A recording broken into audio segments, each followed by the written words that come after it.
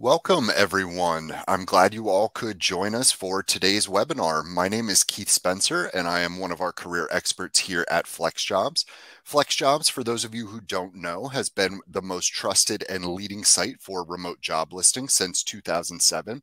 And we are thrilled to have as our guest presenter today Marcelle Yeager of Career Valet, who will be discussing how to take control of your career. Before we dive into the presentation with Marcelle, I'd like to cover a few housekeeping items. Today's webinar is being recorded and a link to the recording will be emailed out to you later this week. This will be a 60 minute webinar that will include the presentation with Marcelle followed by a live audience Q&A at the end. If you'd like to ask Marcelle a question, please make sure to type it into the Q&A section, not the chat section. You can also use the thumbs up feature in the Q&A section if you see a question you would like to hear the answer to so that we know which questions are the most popular. We likely won't be able to answer every question today, but we will do our best to address as many as we can in the time we have together. All right, I will go ahead and turn things over to Marcelle. Welcome, Marcelle, and thank you for joining us today. Thank you, Keith. I'm very excited to be here and welcome to everyone. Thank you for taking time out of your day to join us. Um, I'm going to talk, like Keith said, and then we'll take questions at the end. So please feel free to put those into the Q&A. Um, so, just uh, briefly, I'll tell you a little bit about me. So, you're like, who is this random person? Um, I founded Career Valet in 2012, and we do the thing that everybody hates to do, which is write resumes, cover letters, LinkedIn profiles, and help prepare for interviews to get people to the next level of their career. And we usually work with sort of mid and senior level to senior level professionals. 92% of the people we work with end up interviewing within a few weeks. Um, and the other thing I just wanted to add is before this, I did strategic communications consulting. So I had a lot of experience myself applying for jobs, writing tons and tons of resumes um, and cover letters, and also got my MBA. And that's when I decided to start my own company. Um, and I have lived in six countries and I have three young children. So that's just a little bit about me. And let's get started. So today, obviously, we're taking talking about how to take control of your career. And these are kind of the four areas that I want to take you through. So, the first you see here, we're going to talk about how you actually define success because it's different, of course, for everybody. Then we're going to talk about learning and feedback because that's a big piece of taking control of your career and getting to that next step. And then we're going to talk about growth opportunities and some maybe unique opportunities you might not have thought about for inside or outside of your organization. And lastly, how can you track your progress towards your goals and also advocate? So, what are the best practices for advocating for yourself? So, let's get to it. This is a, a, statistic you might have seen in the original um, invite for the webinar. And it's 79% of managers have said they've told their direct reports what they need to do to get promoted, but only 50% of employees agree. So you can see what's the problem there, right? Like, obviously, there is not communication happening between these two sides, and that's a problem. Furthermore, 75% of managers say their own managers help them develop skills needed to advance, but only 62% of non managers say that. So, th- this is showing us that you can't rely on management or even mentors to take the wheel and help you direct your career. It's really up to you. So, that's the subject of today's webinar. So, um, because we have a big audience today, I'm not going to ask you to to answer this, but to yourself, I want you to answer this. Uh, the first question would be: Do you have clear goals or objectives set in the current role that you have, or your most recent role that you've had? Number two: Do you know what you need to accomplish to get to the next level, or to make some kind of a career pivot? Next, have you had a performance review in the past year? And when uh, I've you know talked about this with other audiences and clients, I find that it's kind of half and half. Some people say no to all three, some people say yes, but it's usually a mix. So it's not, you know, the greatest situation that we could ask for. So we're going to try to fix this today. So, how do we define success? So, success means different things to different people. Like I said, you could have professional goals and personal goals, and most of us have both, right? So, maybe success, and this is not an exhaustive list, of course, but maybe to you it is to get to a higher level, get promoted. Maybe you want to make a ton of money. Maybe you want to change careers. Maybe you need more fulfilling work in your life and purpose. Do you want to be your own boss? Or would you rather just have flexibility and you don't really care about some of those things? At the same time, on the personal side, success could be having more time for yourself and your interests, maybe exercising, reading, spending time with loved ones, travel. It could be all different kinds of things. And kind of what I want you to think about is that the intersection of those two things is really what success means to you. So sometimes those things you need to kind of work on to line up to make sure you're doing what you should be doing. Um, and if you see me on the side here, I'm just making sure that I'm telling you all the things that I want to say with my notes um, that I have next to me. So moving right along. What I want you to also answer is drill down a little bit into your current or most recent role. So, how are you currently evaluated? What is the definition of success in your role? And if you don't know, that's a conversation you should try to have with your boss. And we'll talk about other ways to do that if not. And then, what are the goals that you need to achieve? So, it's best, like I said, to do this with your manager. If it's not happening, uh, or you don't have them, write down what you think those goals are. Maybe even talk to peers or others. You can use what I'm sure a lot of you know of as the SMART framework to do this, which stands for specific, measurable, achievable, relevant, time bound. But I don't want you to get too hung up on that because you don't necessarily need something quantifiable or a metric, you know, a number result. It can be qualitative. So it could be just that you saved time by improving a process, um, that you want to, you know, enhance something within the company, and there might not be a metric associated. But other examples might be create a new employee onboarding guide by quarter three, or meet or exceed your sales target of 30%. So it could be a lot of different things. And what I want to say here is kind of my story from my strategic communications career and bring this in a little bit today to give you that picture. Uh, this happened to me where I came into a job. I realized very quickly that I should have been hired at the next level up, but I hadn't known enough before I was hired to negotiate that. And so I became very determined to make sure I could get to the next level at my six month performance review.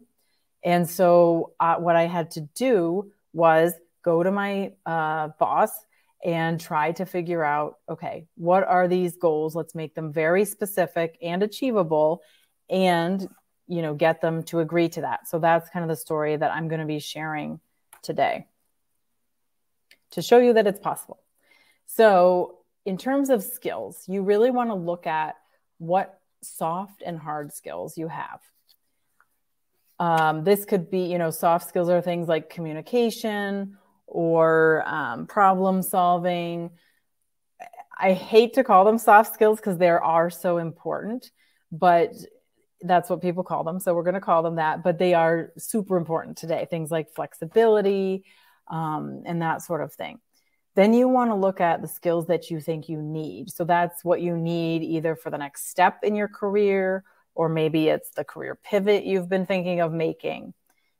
And then you want to, you know, once you have that at the top of this T graph that you see here, if you want to use this structure, you can, you don't have to. Then you want to think through the skills you want to spend time developing. And on that, I really want you to think about what you inherently value and what you really want to be excellent at. So, not necessarily what you think you should do or need to do, but the ones you know that are going to take you to where you want to go that you're really interested in developing and that's going to be the most important thing because otherwise you know you're not going to enjoy it you're not going to be able to become really great at something unless you really love it. So that's something that you should consider. This is a tough one. I'm sure that many of you have tried doing it if not all but communicating up is very difficult to do. So if your boss has not been involved in setting your goals, bring your goals to them, as I said before. And part of that is, you know, really not relying on them to do it, creating it yourself, making a written plan with a timeline to help you achieve both short and long term goals. And then you want to agree with them on a regular schedule for checking in. And again, don't rely on them to come to you if you say, I want to do this, you know, every three months or every quarter, basically, or every six months. You need to be in charge of that. So figure out what form should that take. Do they want a phone call? Do they want a meeting? Do they want it in an email? And then make sure it happens. Mark it on your calendar and make sure it happens and then ask for opportunities to help you progress toward those goals too. Um, so it could be maybe we're going to talk about this in a moment, but something like job shadowing or just going to meetings in a different department that you're interested in and things like that. So, for example, in my case, I had to end up meeting my actual manager's boss because they were the rater for my performance reviews and the ultimate decision maker for promotions and bonuses and all that good stuff. So I went and met with her and I discussed, you know, that I wanted to be promoted and I needed to know what it was going to take to get me there at my next performance review. So we made these goals. We wrote about five to eight, and they were very specific and they were time driven because I said, by this date, I'm going to make sure these are completed. And I made it very clear mutually that if these things were completed, I would be considered strongly for a promotion. And I was able to meet with her halfway and review my progress toward those goals and make sure we were on track. So let's talk a little bit about learning and feedback, is something we often don't think about, but is really important. So probably a lot of you and you know might be thinking, well, I never get any feedback or you know, I don't know how to ask for it or I don't feel comfortable asking for it. But it's super important because it's something that you really can use to help you grow. So, to help you get to that next step, or even to help you figure out how you're going to take those transferable skills and bring them into a new career, you always want to be developing. And then this shows when you're asking for feedback from your peers and your boss, it shows self motivation. It shows that you really are determined and confident to get where you want to go. So, those are some of these soft skills that kind of are inferred by your actions. It's not things that you say, but by asking for feedback, you're giving that signal that you're this really thoughtful person and leader and you're trying to make things work.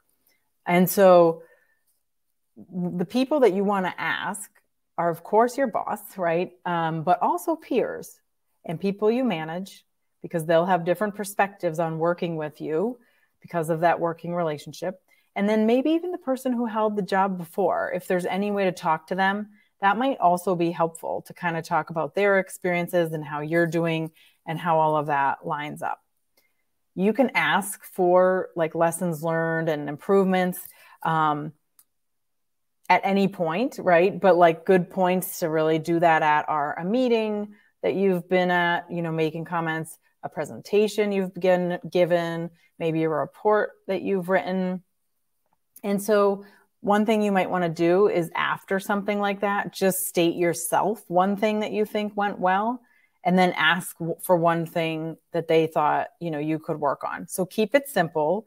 You initiating by saying, you know, I thought this went well, but maybe I could improve this might also encourage them to help you. And you, of course, want to listen to each piece of advice and thank them for the feedback. And then you want to capture it because you, if you just kind of let it go, you might not remember all the things that you want to work on or, you know, and it's important also to like celebrate small successes. So if you're working on these things, then you should be celebrating them. So, how can you do that?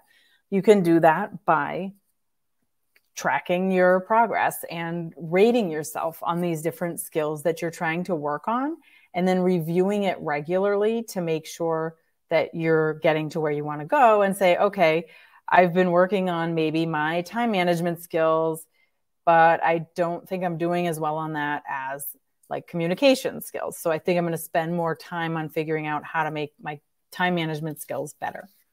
And some of that can also come, I should say, through like your performance reviews. So if you have been given feedback from those, those might also be things that you want to capture as far as rating yourself continuously and reviewing on a regular basis. So here's a really big one where I think a lot of people you know don't necessarily take um, take the time to do this. So in terms of growth opportunities this next one is a really great thing that i want to encourage all of you to do if you haven't. And that's to increase your visibility.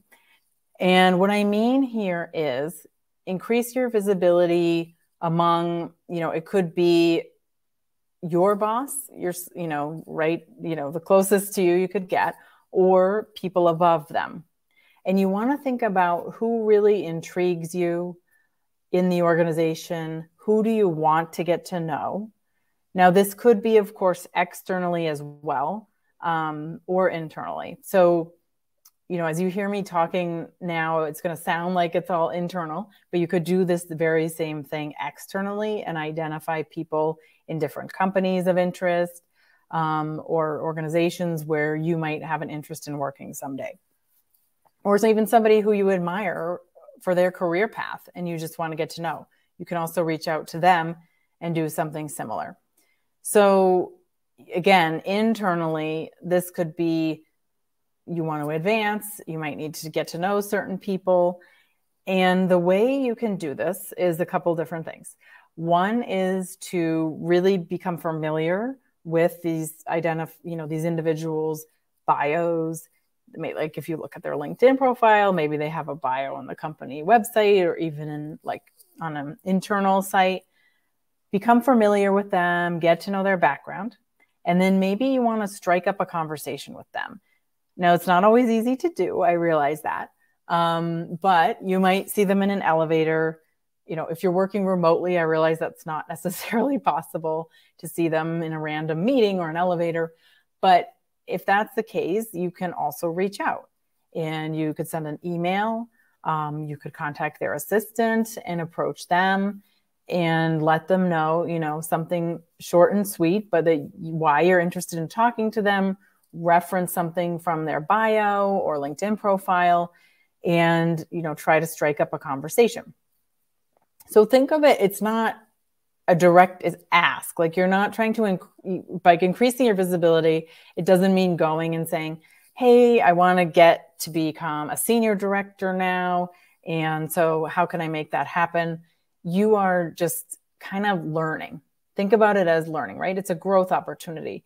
So you're seeking advice you're seeking information you're gathering you're collecting. Um, you're not trying to push them into something now great maybe someday that'll result in it. That's the purpose of building these relationships and increasing your visibility. But that's not your ultimate goal right now.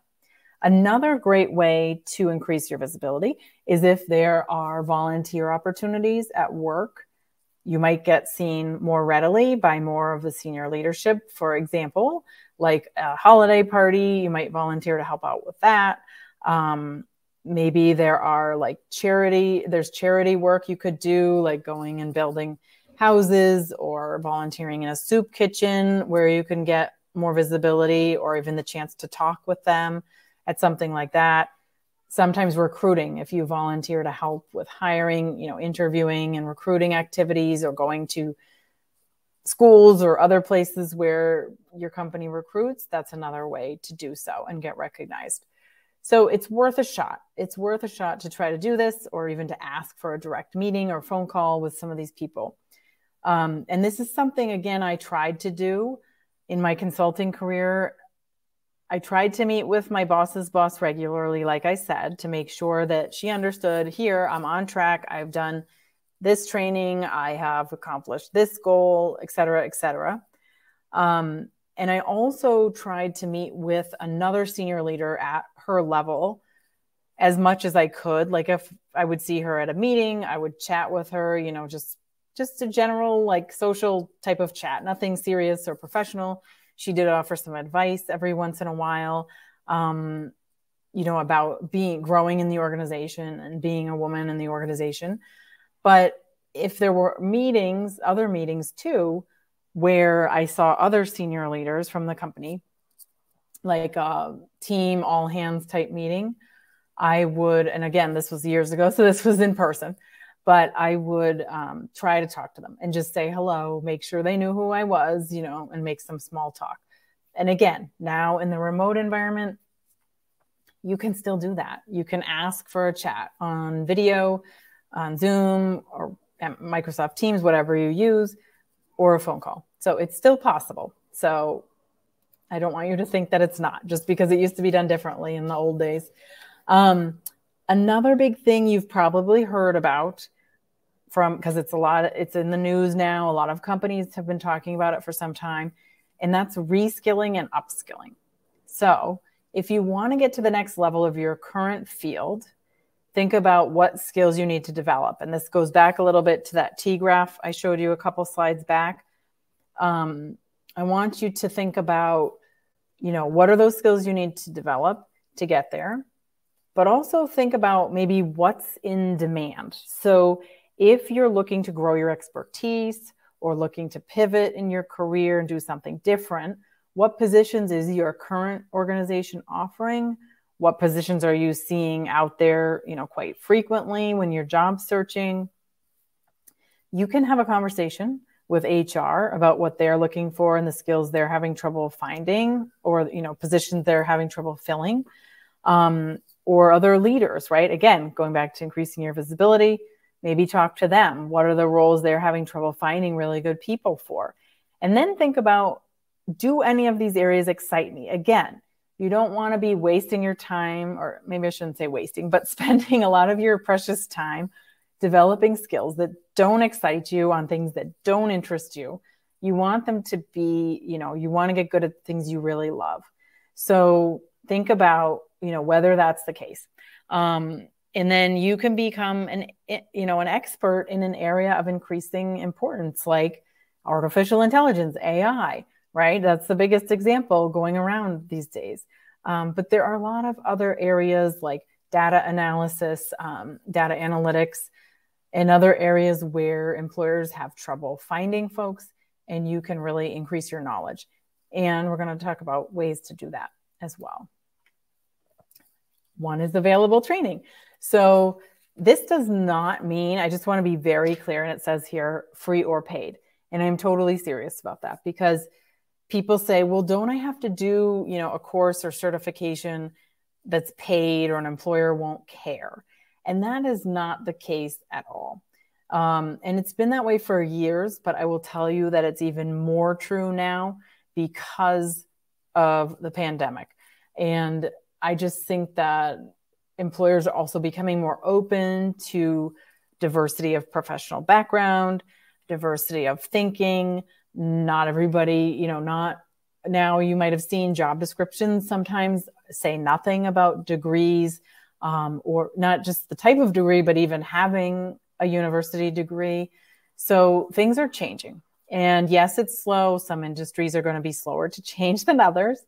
Um, but I think that we're seeing this, and it's a very positive trend. And my point here is that there are trainings that are external and internal, and online, in person, free, paid, combination. Like you don't need to get the formal, formal education that used to be necessary to get some of these jobs. Um, experience is weighted a lot more heavily even volunteer experience, I would say, is weighted more heavily than it used to be. So that's another opportunity as well. If you can find a way to volunteer your skills strategically in an organization, maybe, you know, maybe it's like part time, a few hours a month, maybe it's on the weekends, you know, say you're in accounting uh, but you really want to move into the nonprofit field and become like a program officer or something of that nature, um, you could volunteer to do some like accounting or bookkeeping for a small nonprofit on the side. And that could help you leverage those skills and you know get into that field um, and you know pivot into a different type of job or you know operations or something different. Leveraging those skills. So again you should strategically think about some of the training or maybe even volunteer opportunities that you could undertake. The next piece um, is very that's very useful is job shadowing and mentorship. And you might say my company doesn't offer that or you know, I I don't think they'll be open to that. But I don't want you to get hung up on whether it's a formal or informal program. It's always possible to try to create something yourself and be a little bit entrepreneurial. So the things that you want to look at are who has a job that interests you? Who do you admire at work? This goes back to what we're talking about with the visibility as well what projects or, um, are other teams working on where your skills could be an asset where you have an interest of course not just not just for any team but what is interesting to you and could you use your skills there? Job shadowing you know is that would be job shadowing right? So it's kind of like you find an individual you admire or you find a project a team is working on you get to observe what they're doing what their days look like, you know, how they approach this project. And that's a really great way to learn. If it's not a formal thing, um, you can ask your boss or even other leaders to join into their meetings. Um, I can tell you that at another point earlier in my um, communications career, um, I actually ended up, you know, there were a couple times where I felt like I should be at a prospective client meeting or you know where they were pitching new business. Um, and i spoke to my manager and um, she was able to make that happen. So you know it wasn't always possible but a couple times i was able to do it and i learned a lot about the business development process and sales within the company and how it worked from those experiences. And it exposed me to more senior leaders that were in that meeting um, and so all of that was really good, right? So I kind of got, I covered a bunch of bases just with that one meeting, for example. Um, and then mentor relationships can be awkward. I know because what you don't want to do is go up to someone and say, Hey, will you be my mentor? You know, um, that might scare them. So you might want to just try to meet them at a company event or meeting and chat with them before or after. Again, like the visibility piece, try to know their bio, be prepared to ask them some questions related to their expertise or career path. Um, and then, you know, so it's having a chat. It's like you meet somebody at a party or when you're out with your friends. Um, so think of it the same way, right? Um, that's how you can develop any relationship, including a mentor relationship. It doesn't have to be formal. It can be just these conversations every once in a while. And then they might say, like, you know, if I can help you, let me know. And that's great. And then you can continue the conversation. Maybe you can meet for coffee or video chat. Um, but you know, again, just be just be relaxed about it and let it kind of happen. Um, and then continue the conversation if things go well. So there's a lot of ongoing learning that you can do. Um, and I know that some of this might seem obvious, but there's so many opportunities to upskill on your own. And I think we often forget about it. Um, you know, I would say that there's just so much out there now because of the internet, because of developments in technology. Uh, we're seeing so much is available, right? And I'm and I'm talking not again not paid, um, but free you can take like short courses from professors at very well-known schools and smaller schools um, you can you know i personally was searching recently for good AI courses because um, our team is looking a lot into that and how it can help our clients and um, help our work streams and what we do. And there are a lot of institutes offering like free training on that because they have these big projects where they're doing it. So it's possible you can find almost anything. So don't forget about books. They still exist. Surprise, surprise. So there are a lot of books about there about all kinds of subjects. Um, that can be a great way to learn. And again, showing self learning, whether it's a course or books or you know teaching yourself is it counts. And it should go on your resume. It should go on your linkedin profile. Um, you don't have to list like all the books or all the podcasts that you're listening to. No that's not what i'm saying. But you can make it clear through posting on linkedin for example and through an entry in your resume that you are self-studying and say what you're self-studying as long as it's focused that's what matters. So, you know, you want to focus on what you're trying to do toward your goals that's helping you. Excuse me, I'm talking too much. Um, so, of course, there are the traditional things as well, like online workshops and webinars you can attend. Again, there's a lot out there. There's a lot that are very cheap and some that are free. Um, and these are great ways to increase your learning about a different topic. Um, so, say, you know, if you are an attorney and you want to learn about a communications career, um, because it's kind of how one of our teammates um, sort of changed careers, career directions you could take courses on communications and then there's so many other levels of communications right? There's you know there's public relations there's internal communications there's crisis communications. There are so many different um, you know areas within that. And then you you can say you know that you're self-studying and and where you're doing it or you can list you know the kind of um, platforms or programs you're using so I've seen that a lot as well with tech, for example. Uh, we've had a lot of clients who have decided to transition that way and have been self-studying or getting certifications, you know, online, doing all kinds of things. And that also is included in the resume. So um, in-person seminars, of course, have come back strong. So that's another option. A lot of them are offered by universities or different organizations locally. Networking groups are also great. Those you can find online oftentimes or in your local community.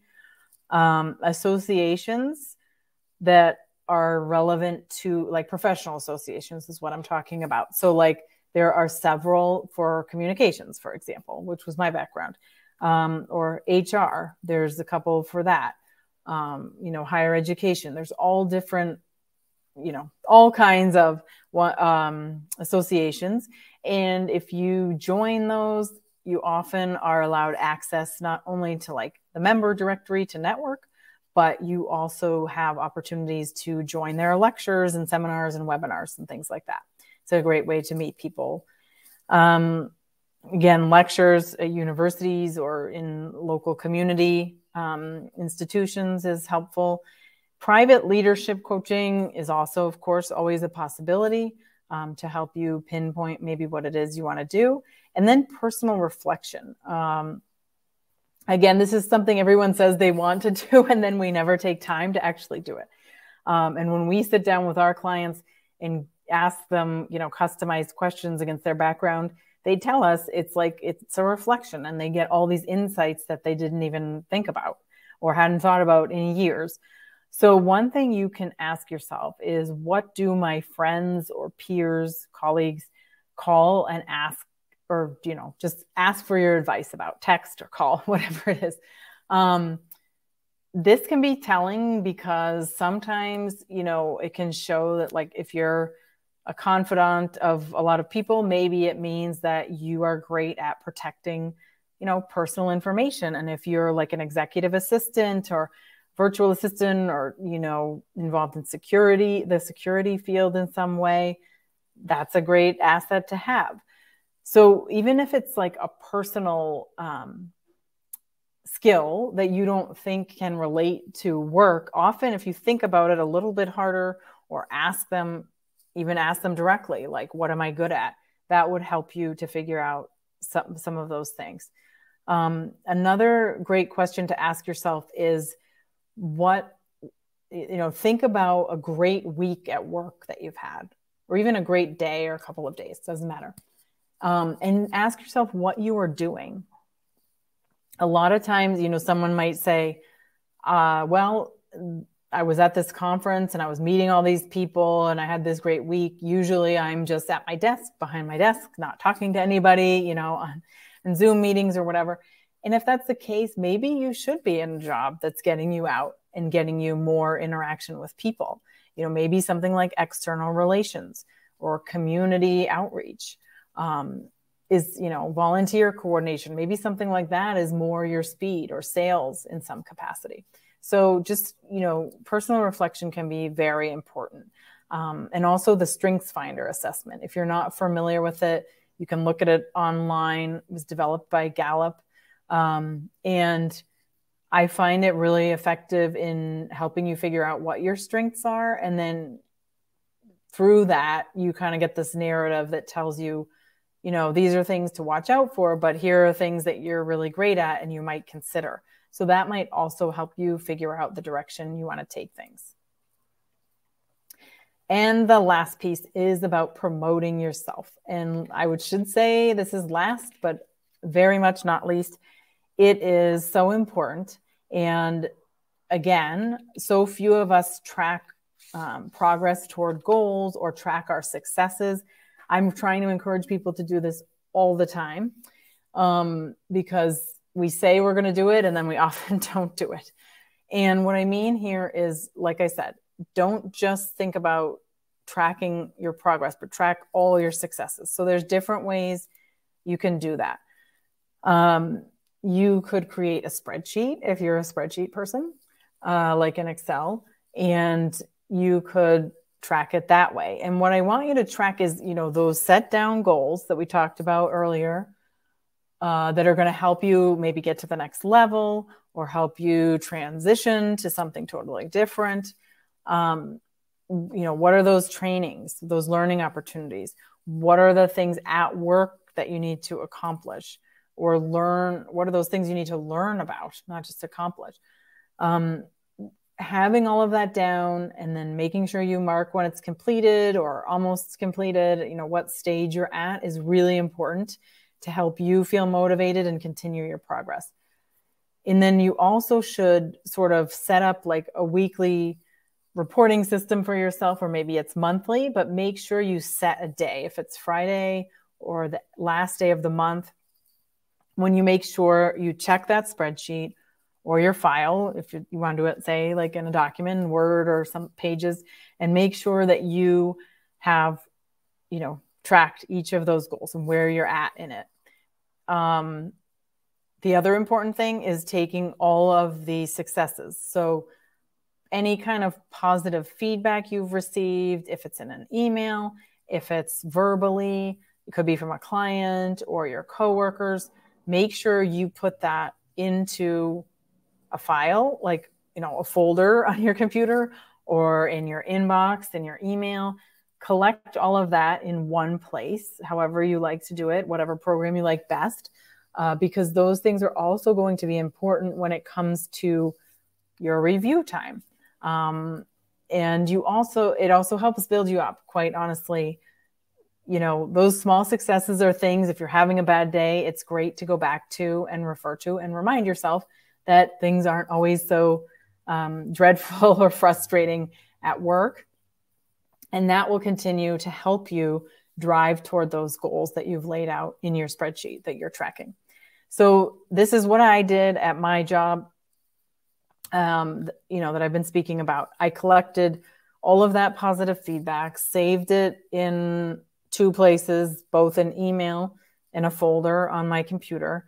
Um, and then I would check back with those goals about every two weeks and see, you know, how I was doing and then realize, oh no, you know, I still need to take this training. Like my boss said it was important, or I said I was going to complete it by my performance time and making sure I was moving toward that. And then it's very important to advocate for yourself. So, you know, as you've heard me say throughout this presentation, you can't rely on somebody else to recognize you for that work.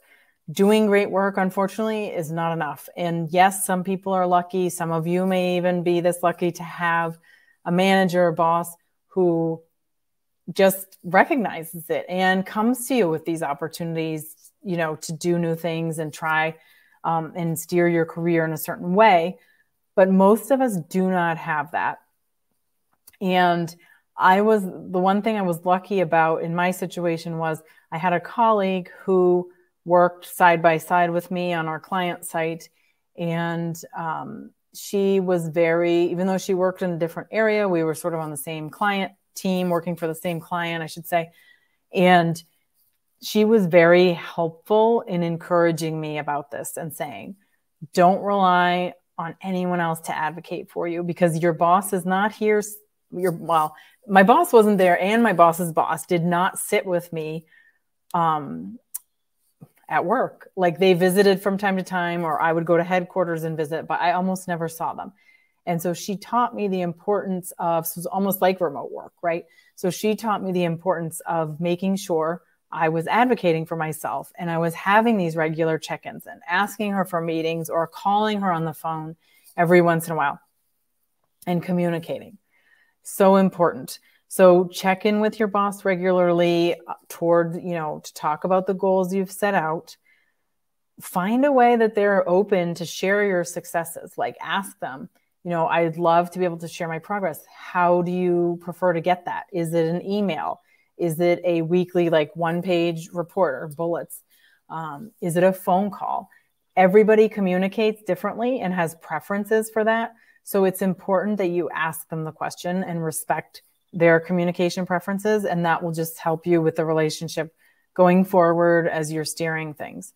Um, and so just to, you know, wrap up my story, what happened was by making myself more seen by my boss's boss, um, and meeting with her regularly, setting out these goals, and then achieving them, tracking them, I was able to get that promotion at my next performance review.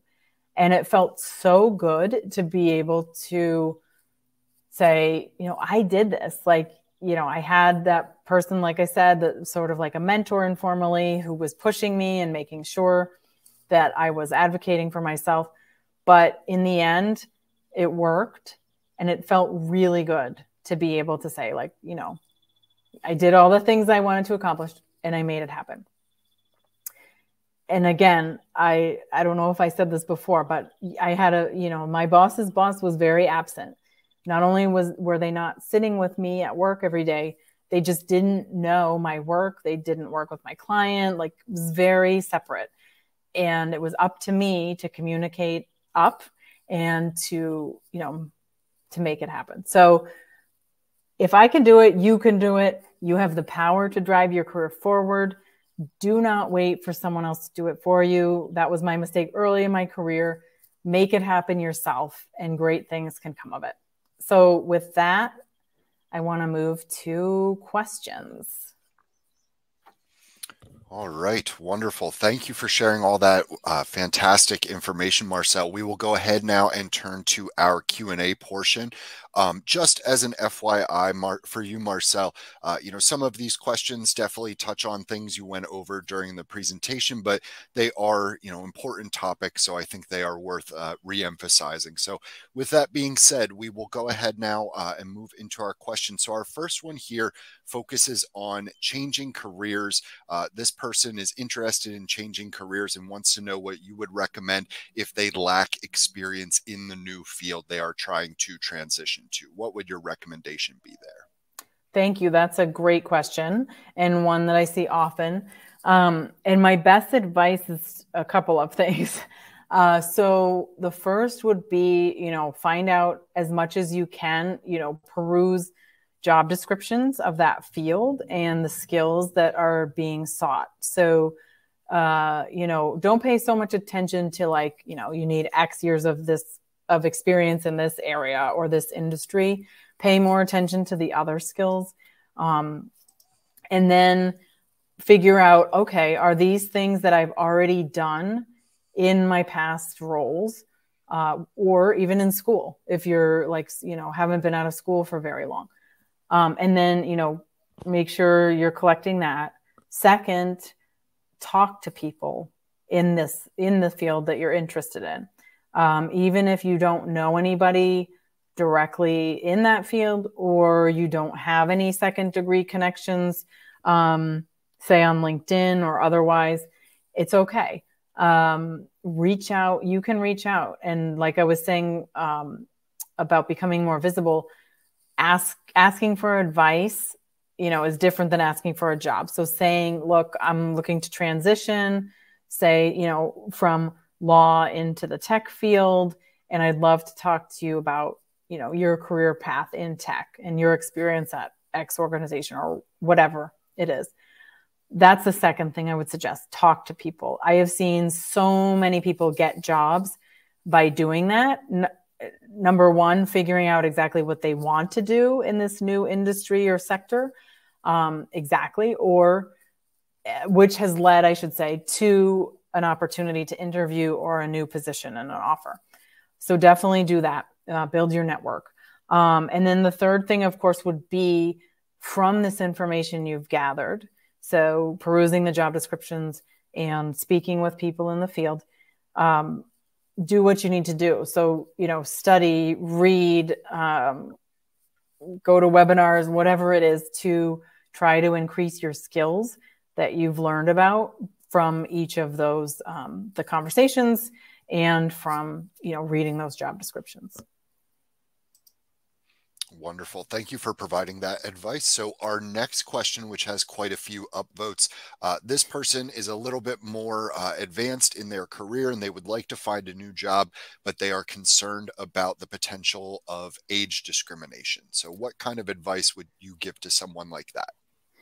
Great question. So, what we actually do is we don't put um, like years that you've received your degree on a resume. And so, for example, like it just it doesn't matter anymore unless somebody's graduated say within the past 5 years, we don't include it. That helps a little bit. Um, the other thing that helps is including mostly details, more, you know, job description, work experience details in your resume uh, with the past 10 years of your career and then not doing so past that. However, you know, if that information is very relevant, we do recommend that people include it if it's relevant to where you're trying to go next. Um, you do want some details about those past roles, but in general, that sort of helps take away some of that issue and like the concentration that employers might make on, you know, how many years of experience does this person really have or how old are they? I would say I get a lot of folks who are concerned about this and don't need to be. So again, I don't know what all of what industries you're all working in, but I do find that even though that's a common article that you'll see online and, and topic written about, it's often that people think, um, well, how can I say this? Like it's more, it, it, there's less of it going on than you think. I would say. So, like, yes, in some, you know, tech, for example, they try to hire, you know, younger people, maybe at lower salaries, um, with less experience in their career. But there are so many careers out there where more experience and knowledge and connections are required. So I wouldn't necessarily be so afraid. Depending on your industry, it might actually be an asset rather than a drawback. All right. wonderful. Thank you. Uh, so let's see. Our next question here uh, has to do with a little bit of an employment gap. You know, this person wants to know uh, potential best practices for landing a job and ideally, you know, negotiating a, a higher salary than their previous job, but they have been out of the workforce for about two years. So, how would you, uh, you know, in, uh, manage a, a career break without having to take a big hit to, you know, your salary? I think that this is less of an issue these days. Um, gaps of just something like two years is not a big deal. I mean, we even see them of uh, more than that, and it hasn't been a problem uh, for people getting jobs. I think that you really need to just make sure that you know what's competitive. So if you make sure you do research to figure out you know what the going salary is for the job level that's appropriate for you or that you're trying to get to next um, post career gap in your you know i would say in your geographic location but that's even changing because with remote work now you know that changes things a little bit as well. But if you can find in your location um, some examples um, and then you know people with the same amount of experience at that same level. Uh, what are their salaries looking like? So that you're armed with that information. Um, I just, I don't, I think a lot of people are worried that the gap is really going to put them back. And most employers are, um, or many employers, I should say, are, you know, understand like things happen. The pandemic was a very big disruption in everybody's life worldwide. And people had to take care of others. People got lost their jobs. Like life happens. And now they're more sensitive to that. So go in with the confidence of this is how much I know people make in my industry, my field, and my location. And this is what I deserve. And ask for it and make sure with negotiations, um, hopefully this will help many of you. I always tell people to start the lowest part of your range should be something you'd be really excited about. I think too often, if we're giving a salary range and negotiating these things, we present, you know, this range we think that will be amenable to them. I want you to think about what's right for you and what would make you super excited. And that should be the lowest amount that you start with. Yeah, salary negotiation is a, a very tricky topic for a lot of people. So thank you for addressing that. I, I would like to ask my own sort of follow up here, uh, focus more on the career break. You know, how do you, in your resume, in interviews, you know, how do you go about addressing a career break in a way that is not going to uh, have employers sort of imagine red flags about you? Yes, thank you for that question. So sometimes if you I don't think you necessarily have to do this in the resume, but we have done this. If you feel very uncomfortable and you're like worried about addressing it in the hiring process, go ahead and put it in your resume. You can put, you know, just a line that explains what was happening. Like sometimes it's, you know, um, cared for a sick family member or cared for children or spouse's job relocated, you know, um, our family or something like that. Um, that works pretty well because then you're being transparent. You're leaving less imagine less things open to the imagination of the employer because, as you know, they look at resumes quickly. They infer all kinds of things. So the less information left to their imagination, the better.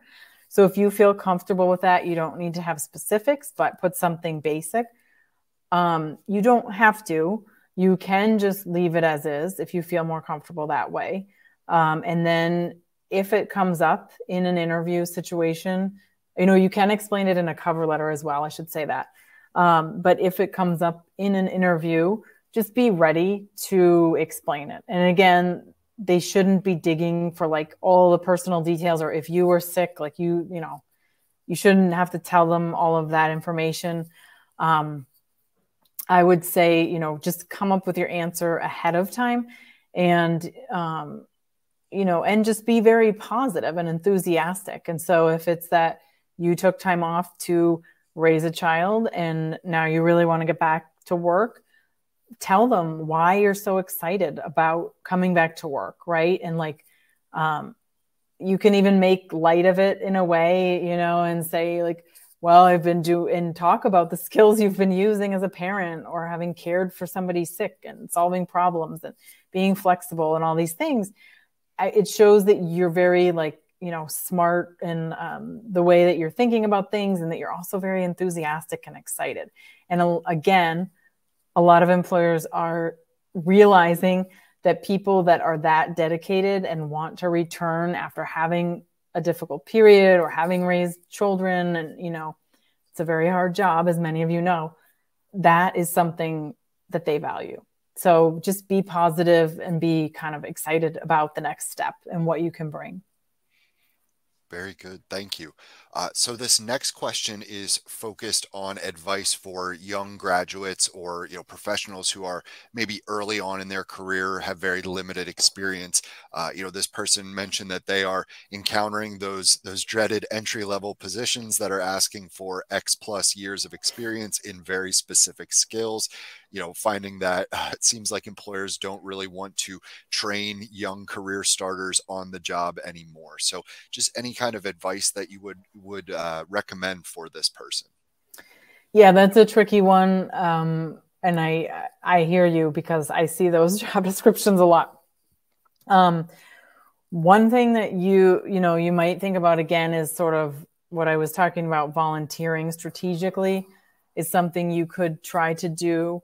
Um, again it doesn't have to eat up a lot of your time and you know job searching takes up a lot of time. So but if you could offer to an organization of interest excuse me to help them with you know whatever it is that you're trying to get into um, maybe it's you know writing or editing and proofreading something related to that um, or you know even just like evaluating their operations something depending on what your skills are and what you want to do, that can be a great way to add to your resume. Um, and of course, if you're doing that unpaid, a lot of organizations might be open to it. Um, that's one way. Um, and then making sure that your resume is like really built out. And what I mean by that is, um, yes, they might be saying, you know, we want one to three years experience and you don't have that yet. That's kind of what like a nice to have. You know, job descriptions are still in many cases very generic, uh, hard to decipher. Sometimes I'm not even sure that the hiring managers know what's in the job description because they have their own view of what they want. And maybe someone in HR doesn't know really and has drafted something totally different and they sign off on it because they just need to get someone in the door.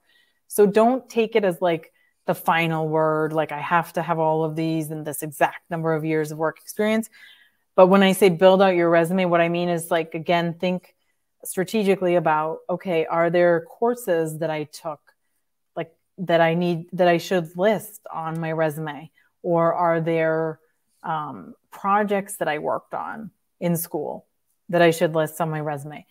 Uh, maybe there was interesting things that you did that would attract someone, you know, and help you stand out from someone else. Like if you are, you know, do karate or taekwondo or who knows, uh, whatever it is, make sure all of that's on there because that can help you stand out.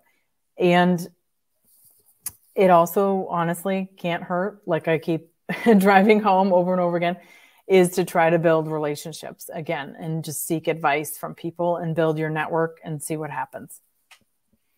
Wonderful. Thank you. Um, so I think we have time for maybe one more question here. Uh, and so this one is, is one that I really like. Uh, you know, this person mentioned that the, the tips and advice that you shared throughout the presentation seem to be, you know, fairly focused on how to get promoted within your current organization or or move into uh, higher level positions. But so when we're thinking about things like uh, you know pursuing training, increasing your visibility, reskilling and up upskilling, job shadowing and mentorship, you know how do you envision those applying to getting a new job or or starting your career? I know you've touched on that a little bit already, but you know where how can people take these things that you've mentioned and really kind of launch into a new job. Yeah, no, that's great. Um, and I probably should have been more explicit about that. So if when you're, you know, going for this new job, it's similar, right? You need to, you have to be visible. So it's the same principle. Like you're not looking internally necessarily if you're looking for a new job or making a pivot. You want to be talking to people outside of the company. Um, or maybe even people internally who've worked in other places. That's an opportunity too, uh, who might be able to connect you to people in other places that you're interested in. Um, so you want to think about what are your targets, right? Like, are there companies that you really admire? So not just people, but you know, companies. Are there um, industries that you both do and don't? It's important to know what you don't want to do too. Don't want to work in, um, and then you know, start talking. Even if there's not jobs listed at some of these companies that you admire or are interested in, find people to talk to. And again you know seek that advice reach out to them and start talking and help you. I've seen so many people like i said get jobs that way um, just through talking to people. And literally i've had several clients who never ended up applying blindly online. They just had their materials ready felt confident went out and started making connections and asking people just about their careers and it helped them define what they wanted to do and ended up with interviews and job offers. So it works. Um, that's probably the biggest thing. In terms of job shadowing and mentoring, you can, I mean, you could ask that of somebody externally. It doesn't have to be someone internally. So maybe you go out and kind of informally find a mentor um, and, you know, develop that relationship uh, who's doing something you eventually want to do or is in the job you want to be in in a few years or sooner um, you know have conversations with them ask them for advice about are there opportunities you know for me to job shadow or learn or you know just ask a lot of questions really um, and people love talking about themselves so it's a great way to to help you figure out, you know, get to something else. Um, so yeah, that's, I mean, really, again, it sounds very simple, but talking to people um, and building these relationships is what's going to help you get to where you want to be. Um, so that's that's probably my best advice there. Wonderful. Thank you so much, Marcelle. We we really appreciate your time today. I think that's all that we're going to have time for today. So we will go ahead and close out our webinar. Again, a big thank you to you, Marcelle, for joining us and providing so many great insights. And thank you to everyone who attended today. As a reminder, uh, sometime later this week, you will receive an email with a copy of the recording. And on behalf of FlexJobs and our career experts team, I wish you all the best of luck in your job search. So Thank you again, everyone, and enjoy the rest of your day.